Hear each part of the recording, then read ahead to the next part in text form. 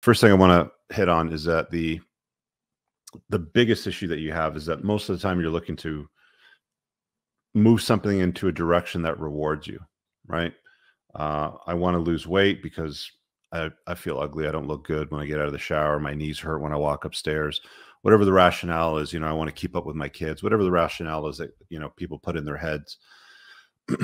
so it's it's some sort of improvement. It's it's it's something better. I want to make more money. I want to get a promotion. I want to move from a Korean car to a Japanese car, from a Japanese car to a German car, whatever it happens to be, whatever your goal might look like. And one of the most significant reasons, one of the biggest contributing factors I find that people don't pay enough attention to is that look, I mean, if you want to be rich, you can't hang your you can't hang out with poor people. If you want to be healthy and fit, you can't hang around with people that aren't healthy and fit. You always become the average of the people you spend the most time with. And that means you're going to have to make some difficult choices like stop hanging around certain people, stop doing certain things that you've been comfortable doing. Right? The definition of insanity, doing the same thing over and over again, trying to get a different result, but you're continue to do the same thing over and over again. You never get that different result. Surround yourself with the same losers that got you to where you're at are not going to get you to where you want to go.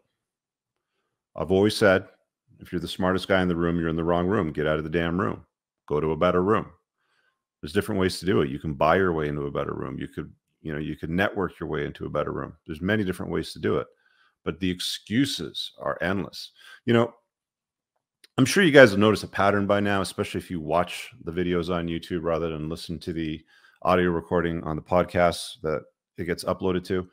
Um, so for frame, for those of you that listen, the vast majority of the guys that call in with problems in, the, in their lives have one very obvious problem in their life that they don't seem to address or take serious enough and that's their health that's their weight right um, i don't give away my my age my year of birth i'll you know i'll say i'm a, a 70s guy right i was born in the 70s and there's a lot of guys my age that don't look like they were born in the 70s. They look like they were born in the 60s or 50s in some cases, right?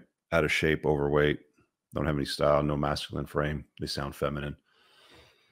If you if you allow this into your life, then you're just going to become part of that.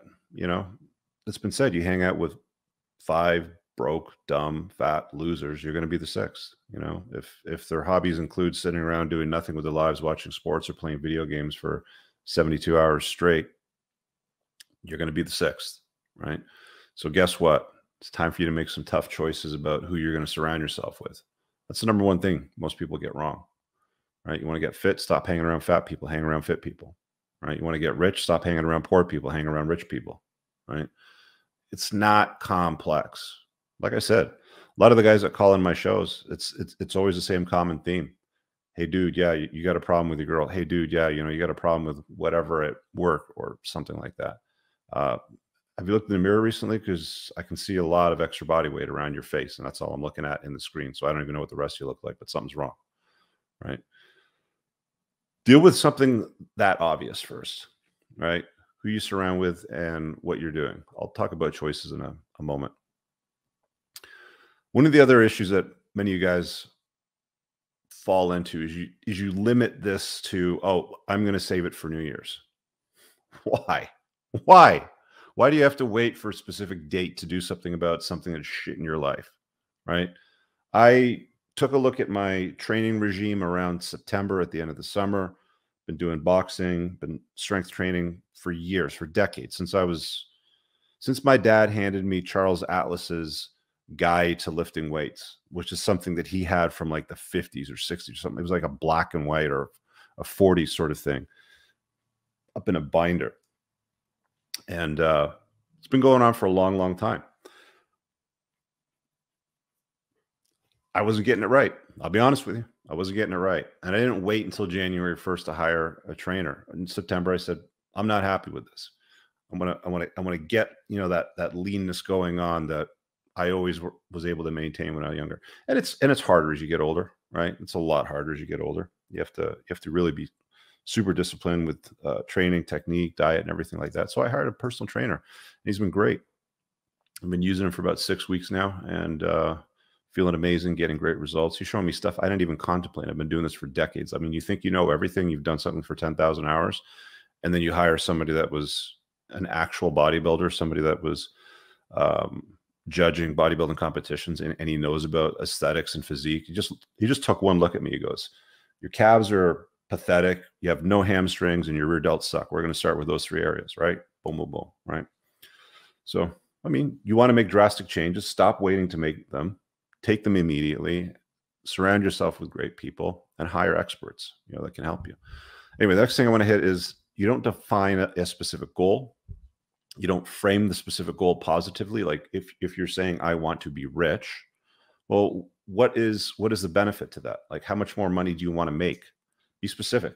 Did you make $100,000 last year? What do you want to make this year? 150, 200, a mil, right?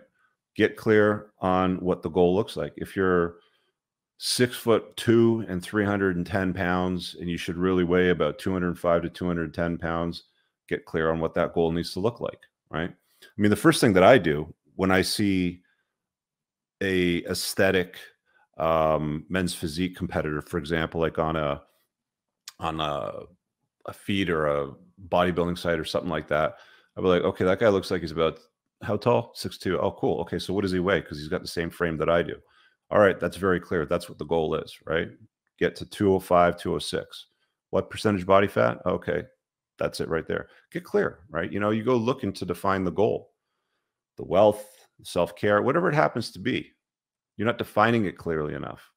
Take a Sharpie. This is what I use you can use, come back to the mic in a second. You want to get real serious about it? Take a Sharpie and write it on your bathroom mirror, right? Current weight, goal weight. Just write it down right in the mirror. I'll have to post a picture at some point on social media, my bathroom mirror upstairs, but I've got my weight measurements and body fat percentage all the way down one side of the mirror and all the way down the other side of the mirror because I stand on a, a, scale to to monitor it. Right? You can't manage what you're not monitoring. You know, it's as simple as that. So you're not defining the goal. You're not framing the goal positively. Like, what's the benefit to it? What are you going to do with the extra money that you're going to make? Oh, you like exotic cars. Cool. Me too. What are you going to buy? Oh, you got your heart set on what? McLaren 600 LT Spider? Very clear. Awesome. Or you want a coupe? Is it going to have a roof scoop on it? Right? Do you have it on your desktop? Are you clear? And what's what's the positive frame around it? What are you going to do with it? You're going to join the exotic car club and hang out with me and we're going to go for rips? Awesome. You're very clear now, right? Are you tracking your progress t- towards that? Oh, a weight, you know, is, is, is simple to, to track. Buy a body fat percentage scale. Yes, I know they're not accurate, but buy a body fat percentage scale accurate to what you actually are right now, but they're accurate to your last measurement, right? Like mine's never accurate. Mine says I'm 23% body fat. It's, it's way off. But when it it shows me 19 to 23 in a range, and I go from 23 down to 19, I know that I've dropped right? Manage, measure, sort of thing. I go to my uh, coach and he takes the body fat calipers and he's like, "Nah, you're about 13 right now." So frame it so that you're clear on what the benefit is to you doing that, right?